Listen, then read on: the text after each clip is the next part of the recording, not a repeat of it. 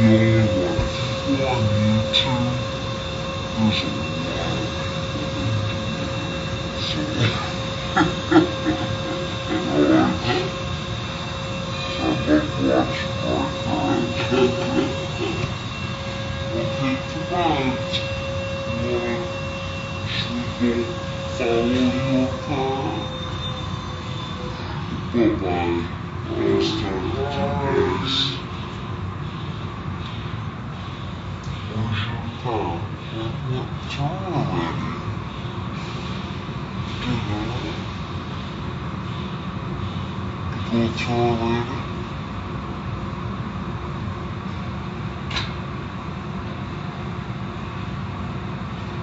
Let's get out the tip.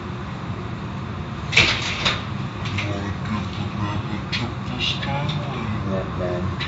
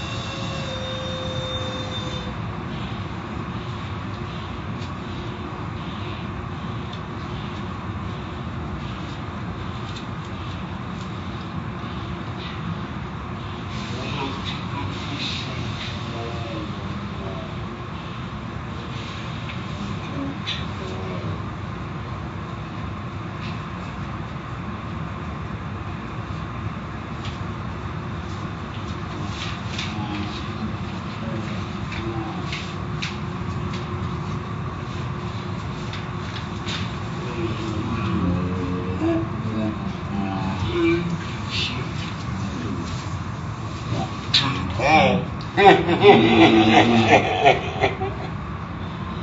ready, baby? Come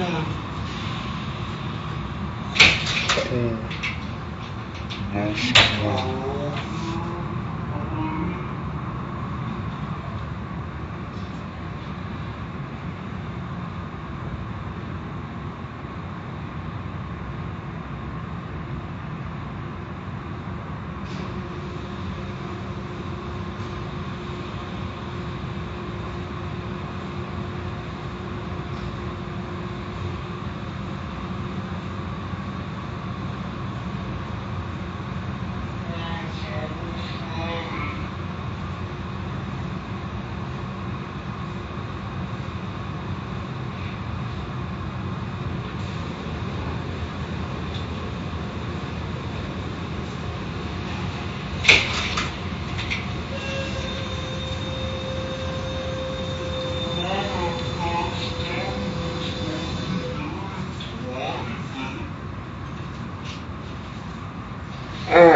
Oh, no tomorrow. Uh-oh. Uh-oh. Uh-oh. Stop it. Start again.